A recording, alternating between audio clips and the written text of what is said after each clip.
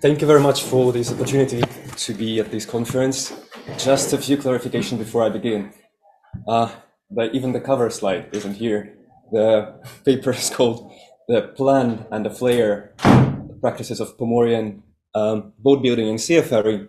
And uh, I'm just uh, doing another master's in uh, social anthropology at the University of Oslo. Uh, but my field materials are going from my previous field work, which I've done when I was a student of European University in St. Petersburg. And um, I wanted this slide to represent that by Pomorian, I mean just geographic, just spatial, uh, the practices that were and still are at the coast of the White Sea and the Barents Sea. And um, yeah, so my kind of um, and these words like plan and flair refers to my main research question, which is formulated as how does interaction with environment in practices of wooden boat building and using the boat navigation work? And uh, the research question is mainly based on Tim Ingold's concepts of dwelling and building perspectives and aim to show how these two go together. So what happens to the skill of reading the waves when appears iPad with GPS or what happens to the eyeball method of measurement when an owner of the boat wants to have precisely calculated drawings or even 3D models of the boat? To answer this question, um, the following field work was done. Sorry, the slides were should like be for uh, like showing the way of the field work. But still, firstly, I volunteered at shipyards at Arkhangelsk uh, city, where um, the boat builder from the village Leshukonsk went there to make a boat, which was uh, uh, which was made for purposes of historians that want an authentic traditional boat. But then I went to the villages of to villages that's accessible only by helicopters and are at the area of national park, where uh, which villages were famous for their boat builders of the past, and still they are using wooden boats very much there. And at the final uh, stage of the field work, I went to the sailing expedition at Kandalaksha Gulf uh, at one of the wooden boats, and my interlocutors were mainly boat builders, navigators, fishermen and fisherwomen, local activists, and national park uh, officials. So um, I begin with the findings of boat building on boat building, and uh, as ethnographer of the 19th century, uh, Sergei Maximov mentioned, um, it has been well known that boat builders know neither drawings nor plans and are guided only by the skill and some architectural flair in building the vessels. Uh, so through months of participant observation where I uh, took part in these boat buildings, I, I can see that this flair mainly consists of trained contextualized measurements. And the context of these measurements include wood structure, other parts of the boat, previous experience of the builder, region and location where it is happening, and purpose of the boat. So the boat customer. The customer, usually definer of the boat and affects the process even if absent. I will allow myself to share two small notes about authenticity, so far as boats which construction I observed were traditional. And the slide presents the process of cutting bands um, from young spruces, which boulder, boat builder will later insert inside the boat. And since the spruces are quite um, just cut, they are being dried inside the boat. So first, kind of, they are um, formed as the boat, so they are turning into the forms of the boat. And then when they are dry, they will uh, support the boat when they are dry. And on the left, uh, there is a knee, uh, which is here. And um, interestingly enough, this knee was um, also usually is from the from the root of the tree and uh, boat builders never used them like from the old boats because old boats were left in peace to to just die their die their um, death but here uh, the because the villages were on a, on a national park territory and there could be um, fees if you cut the tree, the boat builder decides just to use the old uh, knee from the old boat because the customer of the boat was just a fisher uh, woman from the next village. And even more uh, attention-worthy story happened at Arkhangelsk shipyards. Um, here also, my uh, sorry about the slides. There is a two knees, like they are steams or the of the boat, and um, the boat builder discovered that he forgot one of the prepared knees at his home village. And boat builder decided to use kind of epoxy glue mm-hmm. to, to, to make planks together.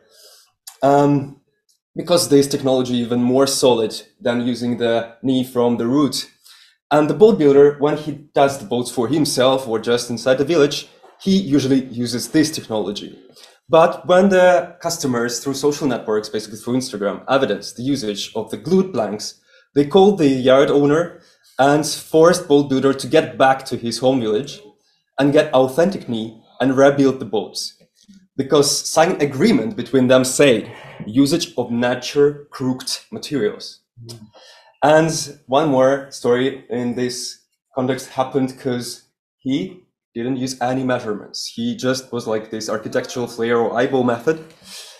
But volunteers, including me, who was helping him, did measurements. And um, these measurements were not important for boat builder at all.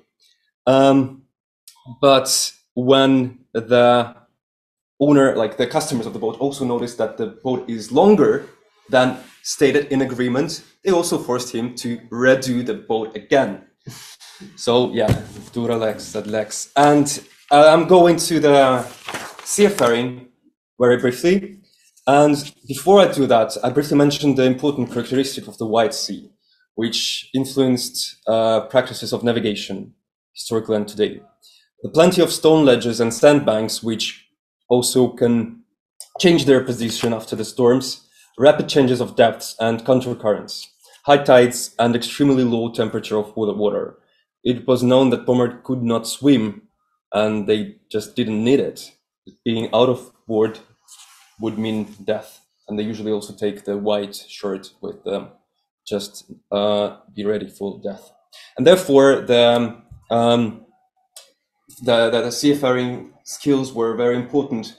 And I will not go deeper into that. I just see the show that first there were wooden crosses that helped in, in, in navigation then it is interesting uh, thing. It's sailing directions or logs where the routes were kind of retelled and they were recomposed, recomposed, and given from one family to another. And finally, at late 20th century, my interlocutors say that GPS arrived first from uh, from from from also kind of from the military, but then they were uh, liberalized and used in, in in fishing.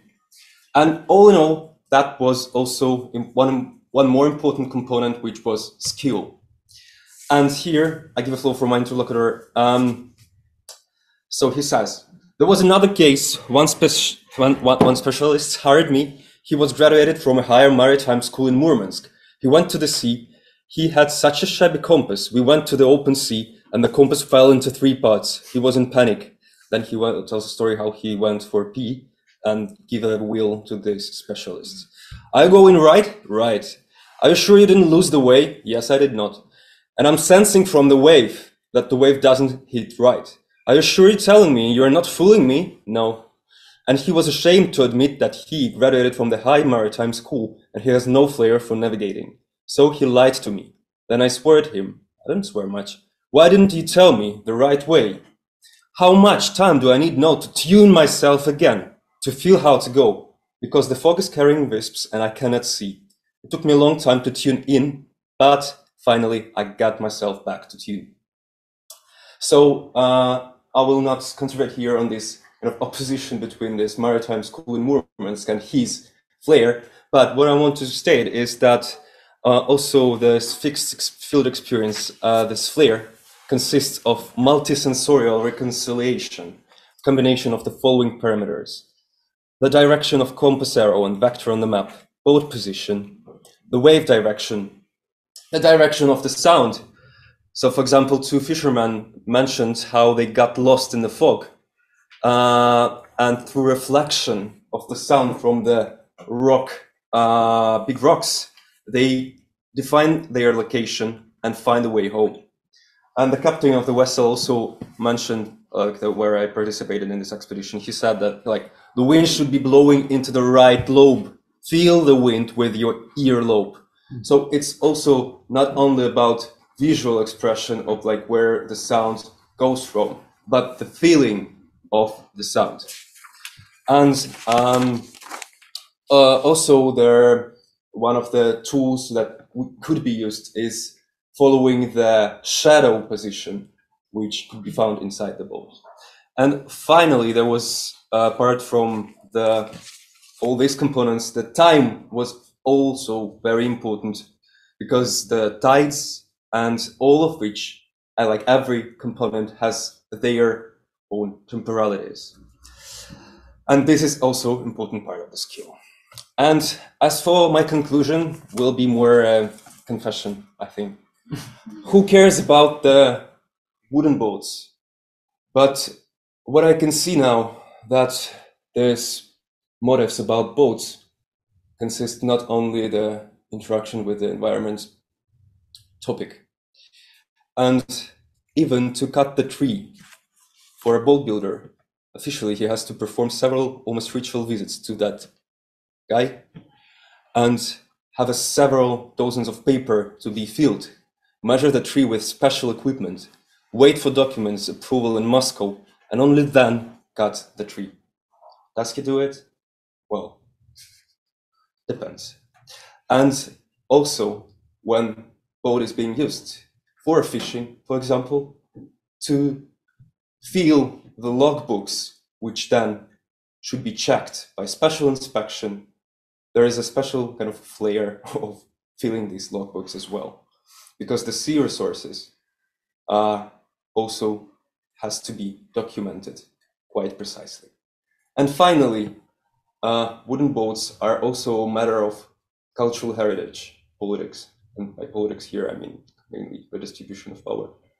And for example, the region which historically used the same wooden boat, boats, like the uh, border of Norway and Russia, now completely different in these terms of how the uh, politics of cultural heritage preservation uh, is going on. So everything goes on frontier. It's interesting. And therefore, I believe that boats are interesting prism through which you can take a path and and and and, and, and follow them. So I'm looking forward to the next stages of my research and thank you very much for your attention.